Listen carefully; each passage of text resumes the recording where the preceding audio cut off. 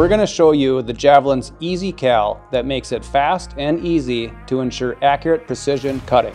We're going to jump into the blade library. We have an automatic measure system for the blade and the nozzle, and then how easy it is to calibrate your machine. One of my favorite features on the Javelin is how the blade library is structured. We can now hold individual tools in here.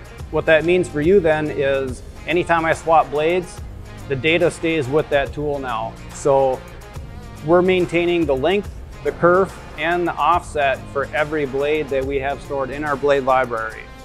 If I come into edit, and one thing that's unique in here is each tool is gonna have its own specific load control settings. So what that means is when you change blades from one to the next, when you select that tool that's active, it holds these values and you don't have to change or adjust per blade anymore.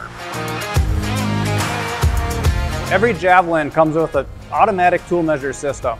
That makes it easy to measure your tools. So anytime you have a brand new blade, or if you want to measure your blade for wear, or if you want to measure the nozzle after you've taken the nozzle off and putting a new one back on, all you have to do is you select the tool to measure and you hit auto measure blade.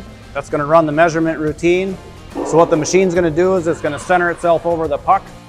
The machine's going to come down and it does three touch offs onto the puck so it repeats the number and then it's going to give you your feedback. So since I just measured this blade, we have the same number. So we click yes to accept the new value and it automatically updates into your library. We have the same function for auto measuring a nozzle. And here we see the nozzle length. If we want to update to the new value, all we do is we click yes and it's automatically updated. And so after just seconds, I'm confident in my tool measure that it's accurate and I can start cutting. The reason that this is so valuable is it means that all I need to do is plug the numbers in and I can just hit the calculate button. So that means I don't have to worry about trying to do any math in my head or on my calculator on my phone. One thing to note, I made a little mark on the bottom left corner of this. This represents our zero zero location. That's important when we enter in the values in the calculator. So I'm gonna measure across in X. So we're gonna plug that number in for the X dimension. And then we're gonna do the same thing in Y. And I have 6.002. We're gonna plug this number in. Then all I have to do is hit calculate and set. It's gonna give me my new offset number. I hit accept, and now that is stored. And that's how easy that is. So we now have our part that we're going to use for the nozzle offset calculator. So one thing that's unique to this part is you'll see there's a cut line down here made by the water jet. This serves a couple of purposes. The first one is so that we have this oriented correctly. So the image that you see up on the screen is the same as what you're gonna see with your parts. You wanna make sure that this is oriented right.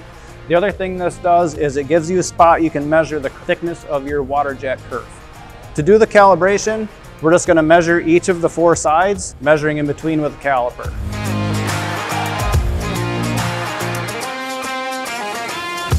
So once we have all the values in, we can hit calculate and set.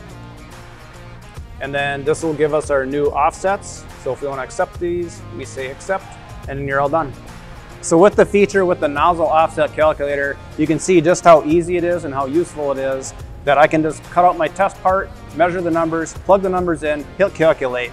That way we know that our blade and our water jet are gonna line up perfectly. And that way you get smooth transitions between the water jet tool and your blade tools with no problems.